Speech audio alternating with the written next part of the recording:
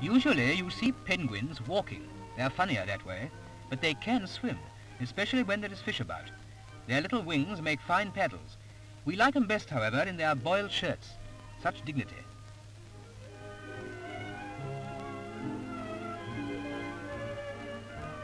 Such grace, too. They take life so seriously, don't they? Here are four new arrivals, dying to get to the water. Down the steps they toddle and along the flat. Did you ever see dreams walking? Just like after-dinner speakers. Well after dinner. By the way, their names are Pete, Pat, Penelope and Pansy. We're not sure which is which, but no doubt they are. It's a foolish penguin who doesn't know its own mate.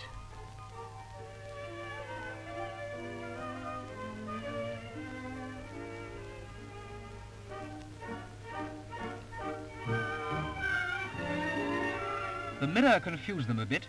At first they went after the reflection, but after reflection soon found the mistake.